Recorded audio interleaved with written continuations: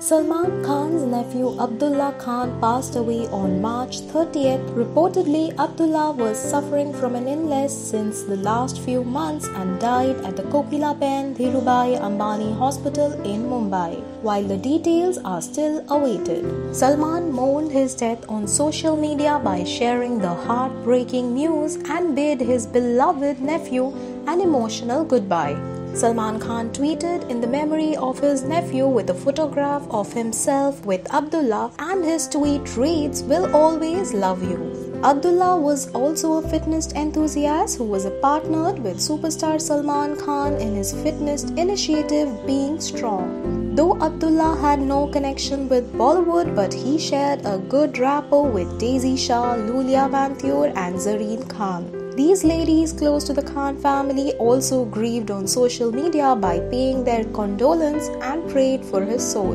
Reportedly, Salman shared a close relationship with his nephew. He has previously posted a video with him where he was seen lifting him up on his one shoulder and few others. Salman Khan is currently with his entire family at his Panvel farmhouse where the actor is in home quarantine during the lockdown period that is going on in the country to curb the spread of coronavirus pandemic. For more updates on Bollywood fashion and entertainment, stay tuned to movietalkies.com.